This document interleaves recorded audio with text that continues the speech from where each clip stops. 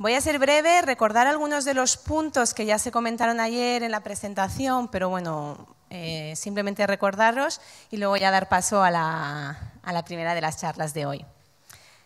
Em, bueno, lo primero comentar que como novedad de esta escuela y también por poner los cuidados en el centro y la posibilidad de la conciliación familiar, este año hemos habilitado un espacio de, cuidado de los y de las más peques. Esta es una novedad también de, la escuela. Aquellos que, sois papás y mamás o que tenéis peques sabéis ya eh, dónde están, pero queríamos también comentarlo por poner en valor también em, pues esta nueva práctica que esperamos que sea ya una práctica habitual en todas las cuestiones que organicemos. Lo segundo, recordar también que está la casa Coy Ragas, que me han dicho que es preciosa, que es una casa modernista preciosa, que está abierta, que se puede visitar y que también es un espacio donde podemos ir a descansar, a reunirnos, a estar, o sea, tenerlo esto presente. El programa es muy intenso y cada uno tendremos nuestras necesidades de acudir a todo o de quizá acudir a ciertas partes, pues también tenemos este espacio maravilloso para estar ahí descansando o reuniéndonos si, si lo necesitamos. Esta cuestión también que la tengamos en mente.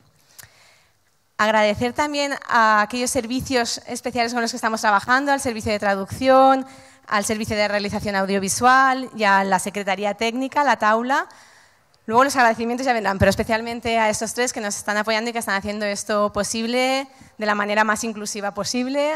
Y bueno, también a las personas que nos están viendo, porque gracias a estos servicios pues, tenemos la retransmisión online, así que muchas gracias también.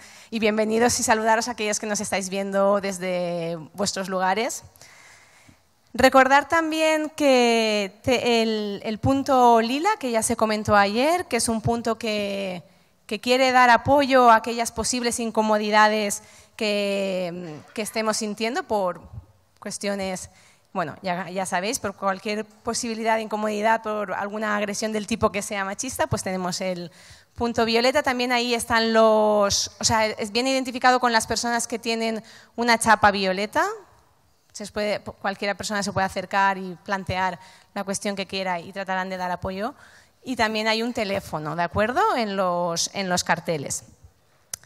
Y luego lo último, sabéis que hoy es un día con muchísimas actividades, un programa muy lleno, eh, por lo tanto se agradece agilidad, se agradece puntualidad.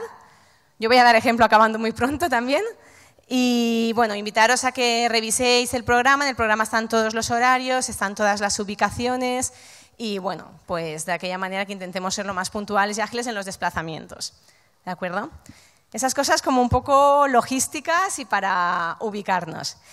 Y dar paso a la mesa, que la presentará mi compañera Karma, pero muy brevemente queríamos también comentar el por qué, por qué esta mesa de hoy, que hoy será la plenaria aquí en este espacio sobre emergencia climática.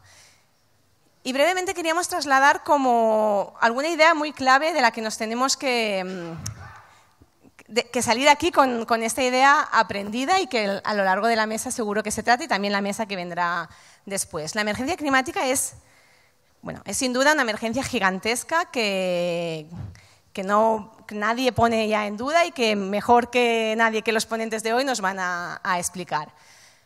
Pero a su vez, tener presente también que es como un nuevo marco, en un nuevo escenario que nos da una oportunidad para realmente actuar para transformar el sistema en el que estamos.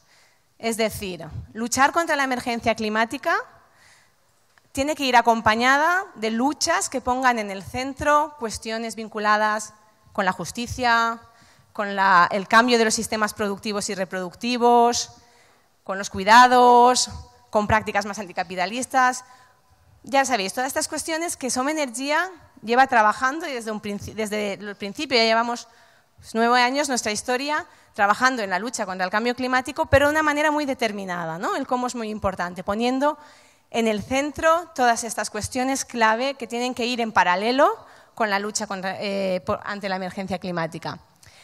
Y entonces esta idea la podemos tomar también como una oportunidad de transformar nuestros sistemas ante esta gran emergencia que tenemos.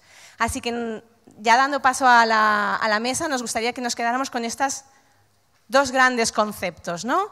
Eh, ante la emergencia la idea de la, obligación de actuar, esto ya no va a ser algo voluntario, es una obligación que tenemos, pero al mismo tiempo la segunda idea es el de la oportunidad en este nuevo marco que nos plantean, la oportunidad de realmente transformar el sistema hacia sistemas más justos.